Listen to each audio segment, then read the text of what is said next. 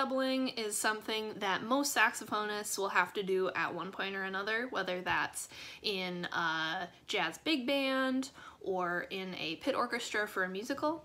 Um, flute doubling can be a great way to get more gigs um, and just have fun on another instrument. So today I'm going to talk about different ways that you can up your flute doubling game. All right, so number one is gonna be just listen to flute players. So just like you would for saxophone players, um, listening to all kinds of professional saxophone players to sound better on your instrument, the same applies to flute players. Um, so I would recommend checking out both classical and jazz flute players. Um, a few classical flute players I can recommend is uh, James Galway. Um, he's a legend on the instrument. Um, he's yeah, definitely check him out. He's a big name in the in the classical flute world. Um, another classical flautist I enjoy is Jasmine Choi. I don't know much about her, but she is phenomenal.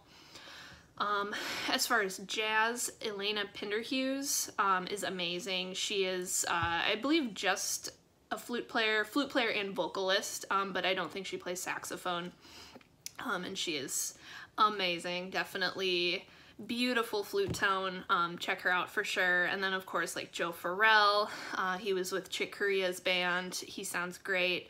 James Moody. Um, there's all kinds of uh, jazz flutists you can check out. So definitely check out a mixture of jazz and classical. Um, oftentimes classical flutists and um, classically trained flutists are gonna have like a really great tone. Um, so yeah, that that is great to check out. So yeah, listen to flutists. Number two is practice the flute every day, especially when you're starting out. So this is something that most saxophone players don't do.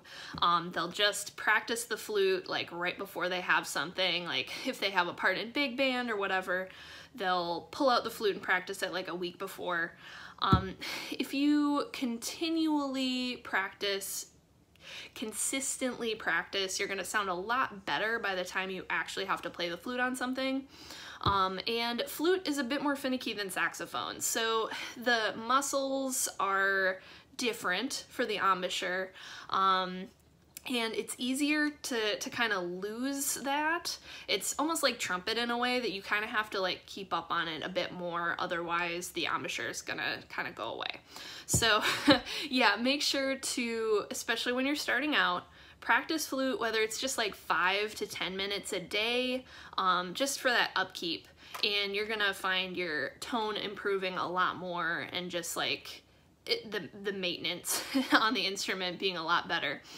Um, so yeah, practice flute every day. All right.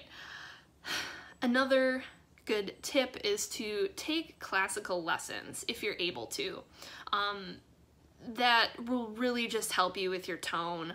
Uh, nothing is going to help you more on the flute than studying with a classically trained flutist and really working on that tone because the embouchure is so different from saxophone and uh, yeah, just study study like you are a flute player, not like you're a saxophone doubling on the flute. I've that's the approach I have taken um, in learning sac or in learning flute and clarinet, just approaching it like I am a flute player and a clarinet player, um, and I've found that I've had a lot of success with that.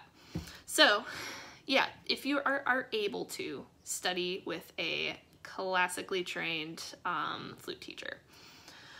All right, so I'm gonna go through a few of the main embouchure differences between saxophone and flute. Um, so number one is it's much looser. The saxophone, you definitely have a bit more tightness, a lot more back pressure, um, whereas flute, you just loose, very loose as possible really. Um, you want to tighten really just the corners of your mouth. Um, and you can definitely hear it in the sound. If you are too tight, it's gonna come out, well, it's gonna like shoot up the octave and it's, it's just gonna not come out as clearly. So for example, here's just a G playing normally.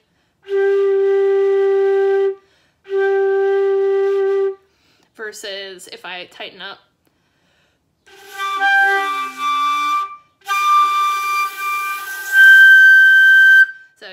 Airy, not coming out. So definitely loose.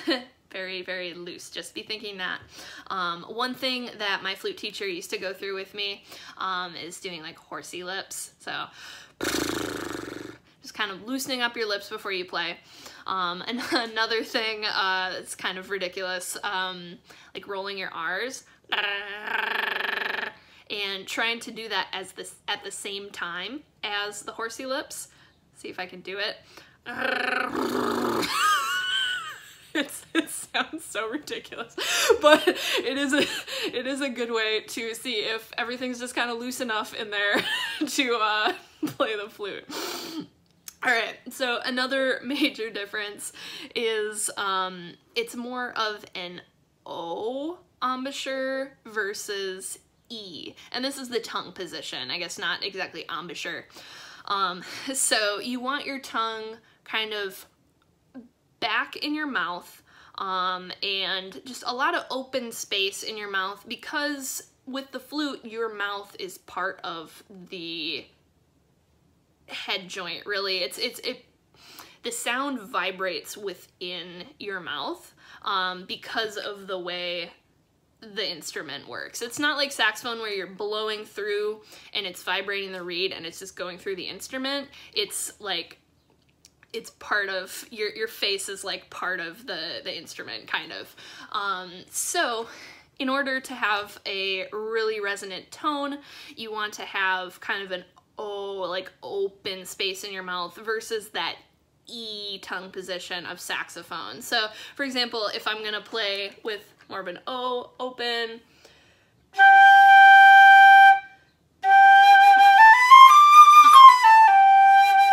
versus more of an E.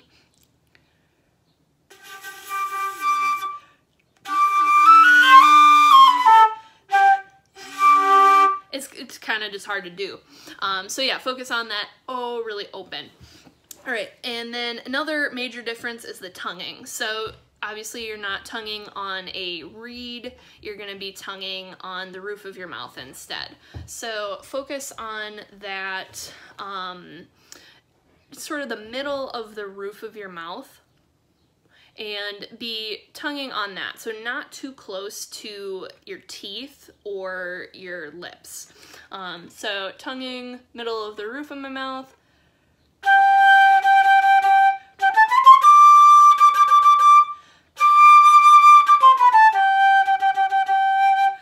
Versus tonguing too close to my teeth.